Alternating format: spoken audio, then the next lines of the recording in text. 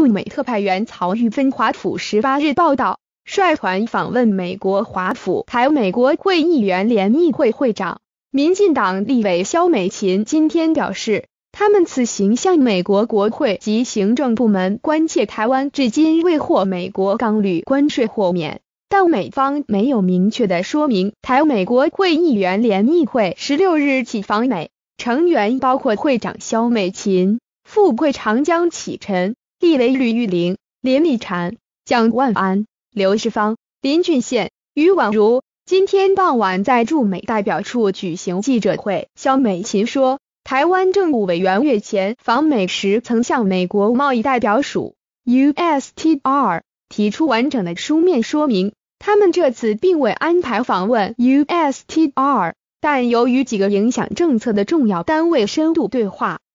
他表示，台湾并不是唯一在等待答复的国家，可能要待美国整体政策更清晰后才会有结果。但反台后会持续要求台湾政府继续与美方交涉。江启臣则说，川普政府目前最大的麻烦是不确定性。连美国同党议员都无法预测川普的决策，对大家都是挑战。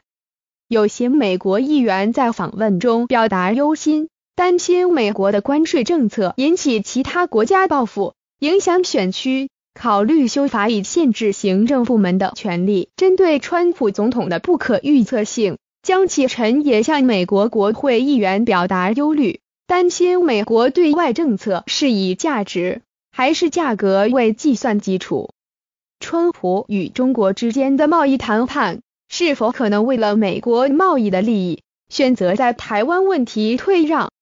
美国国会议员也有提出类似问题。不过，肖美琴表示，比起经贸问题，台美在军事方面的合作不断深化。美国不但对解放军在台海的挑衅有回应，而且长期而言。美台合作以因应解放军挑衅的态度是明确且一致的。台美国会议员联谊会两天内已拜访参议院外委会亚太小组主席贾德纳、众议院外委会主席罗伊斯、众院外委会亚太小组主席刘和，并与众院台湾连线成员参叙。